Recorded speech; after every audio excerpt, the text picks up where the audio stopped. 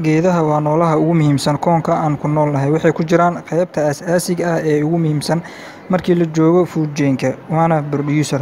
Oo dhammaan noolaha kale waxay si toos ah indirectly iyo si dadban indirectly ay ugu tiirsan yihiin geedaha. Adduunka cunnada ay cunaan bini-aadanka boqolkiiba siddeetan waa dhirta wax ka yimaada. Geedaha loo abuuro in la cuno ama hadafka loo beerto tahay in la quuto waxaa loo yaqaanaa food crop food crobiska waxay aada ugu tiirsan yihiin ama aysan ka maarmin biyo ku filan caro wanaagsan cimilo ku habboon. Mararka qaar dalagyada waxba ma soo saaraan ama cunno ku filan noolaha kale ma ka yimaadaan ayadoo midaas ugu wacan tahay environmental conditionska sida daroodka iyo wax la mid ah. Midaas waxay horseedaysaa inay meeshaas ka dhacdo cunto la'aan. Waxaa la dhahaa xaaladaas awaar marka tirada dadka ay kororto sidoo kale waxaa soo saarka cunnada waa inaa la kordhiyaa. Haddii aan la kordhinin wax soo saarka cunnada waxaa dhalanay dhibaato dhanka cunnada ah. Sidoo kale dhulbeereedka waa mid xadidan waa waxaa laga maarmaan ah in la horumariyo wax soo saarka dalagyada. Anagoo dhulkii isticmaalayn waa inaan wax badan soo saarnaa. Haddaba sideen u soo saari karnaa waxaan samayn karnaa in xoolihii cunnadooda la hagaajiyo oo animal breeding aan ku sameyno si aan u kordhino tayada iyo wax soo saarka xoolaha. Sidoo kale waxaan samayn karnaa plant breeding si aan u horumarino tayada iyo wax soo saarka dalagyada. Waa maxay plant breeding? Plant breeding waxaa lagu qeexaa waa cilmiga oo lagu bedelayo sifooyinka hidaha ah ee dhirta ay leedahay si aan u abuurno ama aan u sameyno dhir leh sifadii aan anaga rabnay kaas oo ku habboon beerashada maxsuul wanaagsan iyo cudur iska caabin leh. Plant breeding kuma ahan technology cusub ee waa wax qadiimi ah ee mar hore la sameyn jiray dadkii hore waxay sameyn jireen si ulakac ah dhirta kuwa isku dhow oo dadka isku leh sifo ahaan ayay isku talaali jireen si ay u soo saaraan geed cusub kaas oo leh sifadii ay rabeen. Xiliyadan dambe breederska waxay isku dayaan inay kor u qaadaan ama sii xoojiyaan sifooyinka aan tilmaami doono si ay ugu dhigaan variety horumarsan oo wanaagsan. Inay kor u dhigaan waxsoo saarka dalaga inay kordhiyaan waxsoo saarka dalaga uu leeyahay ama maxsuulka. Inay horumariyaan tayada geedka uu leeyahay. Inay kordhiyaan adkeysiga uu adkeysanayo environmental stresskii sida cusboowidda kuleelka xaddhaafka ah iyo biyo la'aanta iyo qawowga inay kordhiyaan iska caabinta noolayaasha cudurrada sababa bathogeniska iyo wax lamidka inuu u adkeysto cayayaanada iyo noolaha kale ee wajahayo. Haddaba habkan oo la isku tallaalayo geedahan aadka isugu dhow kuwaas oo genetically ahaan kala duwan si loo soo saaro geed sifa ahaan dhammaystiran. Habkaas ayaa waxaa la dhahaa hybridization. Saynis yahaano lagu magacaabo george mendel iyo charles darwin waxay si wax ku ool u caddeeyeen hybridization lagu sameynayo geedaha isku sbieshiska ah. Intaas kadib waxaa habkan si qeyqeybiyey oo si ballaaran u sameeyey breeders kale oo fara badan. Plant breeding waa hab nidaamsan markii intii lagu intii lagu guda jiro habkaasi breedingka ah. Waxaa laga bilaabaa in la doorto geed leh tayadii la rabay ilaa gebagabadii in la soo saaro waxayna mareysaa shan marxaladood. Haddaba mid mid aan uga hadalno. Step one collection of variability. Waa maxay collection of variability waxaan ognahay geedaha inay leeyihiin species kala duwan. Mid walbana inuu leeyahay varieties kala duwan lagana helo meelo kala gedisan ee adduunka ka mid ah. Variety walba midba midka kale waa ka duwan yahay waxaa loo yaqaanaa genetic variation. Tusaale variety ka mid ah qamadiga ee raagii waxaa jiro boqol labaatan iyo kow nuuc oo raagii ah koonkan dushiisa. Mid walbana midka kale uu ka duwan yahay sifa ahaan mid ka mid ah sife wuxuu leeyahay cudur iska caabin iyo adkeysi biyo la'aan. Mid kalena wuxuu soo saaraa yildi badan balse uma adkeysan karo awaarta iyo biyo la'aan. Mid kale wax yildi ah ama ka soo baxo maleh balse awaar iyo biyo la'aan ayuu ku bixi karaa. Marka si aad u sameysid variety cusub oo raagii kaas oo leh sifo wanaagsan oo dhammaystiran waxaa wanaagsan inaad ogaato dhammaan varietieska raagii kaas oo laga helayo adduunka markaas waxaa fududaaneysa inaad soo dooratid sifadii aad rabtay si aad u sameysid geed cusub oo leh sifadii aad rabtay. Sanada markuu ahaa kun sagaal boqol todobaatan iyo kowdii organisation lagu magacaabo international board of plant genetic resources oo loosoo gaabiyay i b b g r. IPPGR ayaa waxay bilowday inay ururiso dhammaan waddamada geedaha yaalo iyo abuurkooda si ay u hesho geedo kala duwan iyo genes kala duwan, kaas oo dalag walba leeyahay, midkaas oo meelo kala duwan ee adduunka ka mid laga kala keenay, waxayna samaysay library kaas oo lagu magacaabo Germplasm Collection. Qaabkan wuxuu caawiyaa markii la sameynayo variety cusub. Dhirta badankood germplasm waxaa laga helaa in ka badan boqol variety, iyadoo fududeynaya germplasm scientist walba wuxuu si fudud u samayn karaa isagoo isku geynaya genes kala duwan si uu soo saaro superior plant. Step 2 Evaluation and Selection of Parents Waa maxay evaluation and selection of parents? Kadib markii la sameeyo doorasho variety ah kaasoo ku base garaysan sifadii fiicneed sida leh qaab dhismeed ubax, fruitiskii, dhumucda, jirida, iyo yieldiga uu soo saarayo. Si kastay ahaataba, kala duwanaanta dhirta, midaas oo keenta cimilada dhirtaas ku nooshahay, waa mid ku meel gaar ah. Tusaale, researchers ayaa waxay soo ururiyeen geed gaaban, ayagoo ka keenay cimilo qalalan, kaas oo sifo ahaan u bixi jiray mid gaaban. Kadib markii varietieskii ay ku beereen cimilo caadi ah, geedkii wuxuu u baxay wuxuu u baxay sifo kale oo ah mid dheer. Sidaas darteed, sifadii gaabnida ah ee geedka ma ahayn sifo genetically ah, balse waxay ahayd natiijo ka dhalata environment-ga geedka. Haddaba, si aan uga fogaano khaladaadkan camal, waxaan u baahannahay inaan ogaano germplasm sifooyinka aan ka helayno, iyo inaan qiimeyn iyo sifeyn ku saabsan kala duwanaanta dhirta inaan sameyno.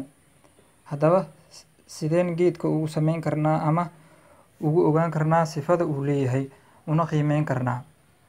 Ka hor inta aan sameyn qiimeyn, waxaan tijaabinay geedka biyuurnimadiisa.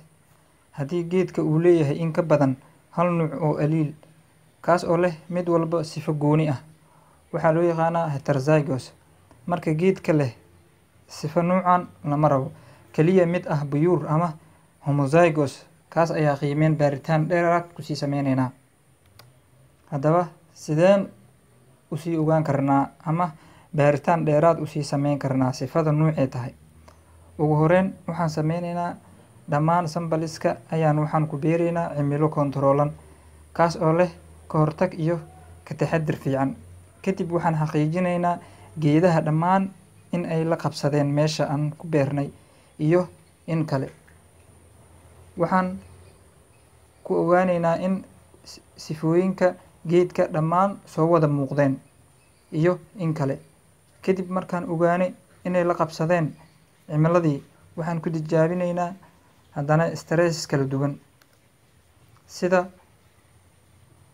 cudurro sababayaal pathogen, carro cusbooley ah, dhul qalalan, iyo wax la mid ah. Kadib result-ii ka soo baxa ayaa meel ku qoray. Sidoo kale waxaad adeegsan kartaa lab adigoo ku tijaabinaya kiimikaal kala duwan. Kadib result-iga kaga soo baxa ayaa meel ku qoray. Marka scientist-yaasha ayagoo isticmaalayaan xogtan ballaaran ayay waxay soo dooranayaan geedka ay ku sameyn lahaayeen breeding. Marka geedkii la soo doortay ayaa dib isaga la isugu tallaalaa si loo helo geed ah pure homozygous. Step 3 Cross hybridization among the selected parents. Waa maxay cross hybridization among the selected parents? Kadib markii aan soo dooranay geed pure ah, kaasoo leh sifadii aan rabnay, waxaan sameynaynaa inaan isku tallaalno oo aan cross aan ku sameyno hybridization. Tani waxay inaga caawinay inuu soo baxo geed cusub oo leh sifadii wanaagsaneyd, kaasoo ka kala yimaadeen laba geed kadib isugu yimaaday hal geed. Tusaale, haddii aan ku sameyno cross cross breeding variety leh sifo ah cudur iska caabin balse inta uu soo saarayo yar tahay, iyo mid leh high yield iyo low resistance disease. Kadib, F1 generation-ka koowaad wuxuu noqonaa superior plant oo ah variety leh high yield iyo high disease resistance. Habkan ee cross breeding lagu sameynayo variety oo leh sifooyin wanaagsan iyo mid xun si loo helo variety leh sifadii wanaagsaneyd ayaa waxaa la dhahaa heterosis ama hybrid figure. Haddaba sidee cross hybridization aan u sameeyaan breederska sidee breederska u sameeyaan cross hybridization?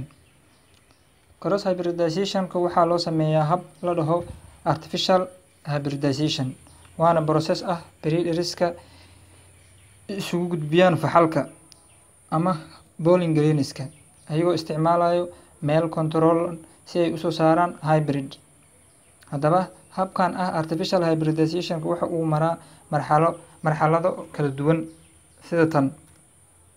Marxaladda koowaad uu maro waxaa ka mid ah selection of parent with desirable character.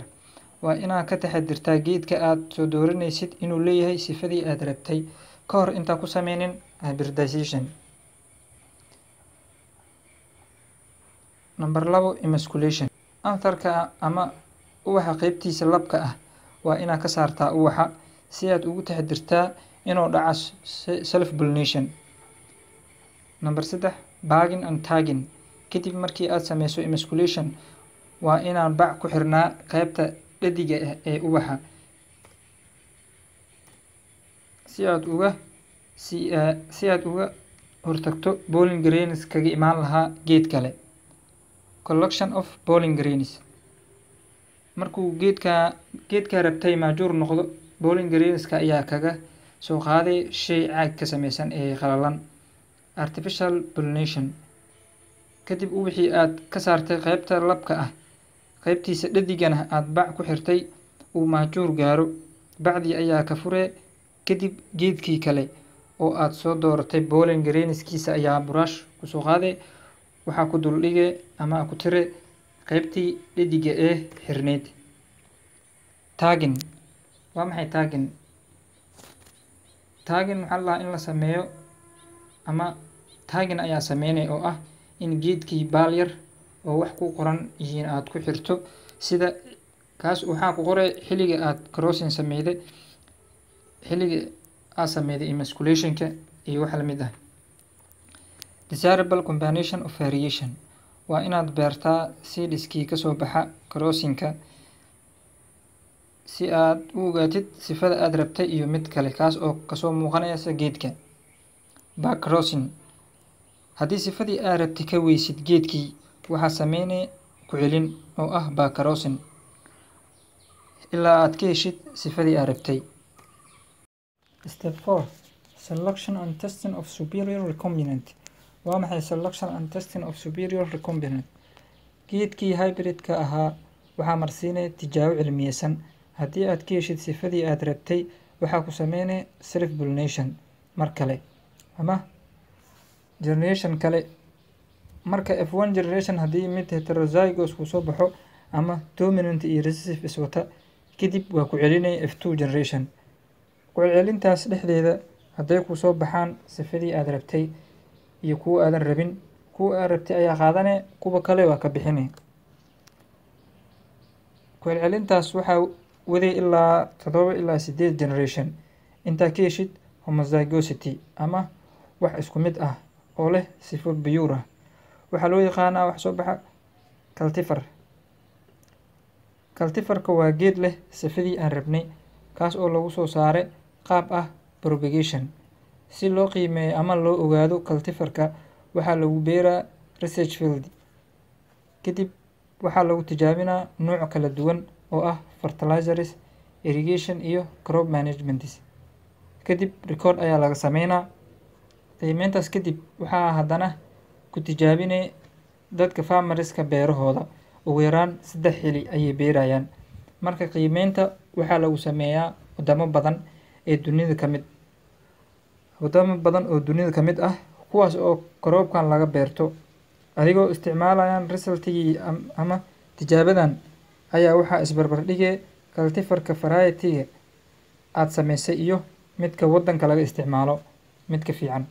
Haddii caltifarka cusbaay fiicnaado waxaa sameynaya seed multiplication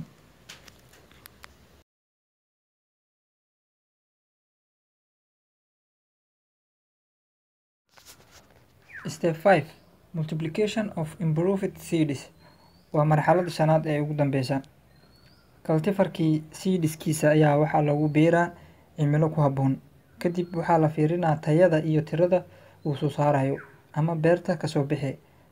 Haddii tijaabadaas marto waxaa aqoonsi waxaa aqoonsi siinay national seed corporation c. Seediska noocaas ah waxaa la dhahaa certified seed waxaana la sii karaa beeraleyda iyo goobaha ganacsigaba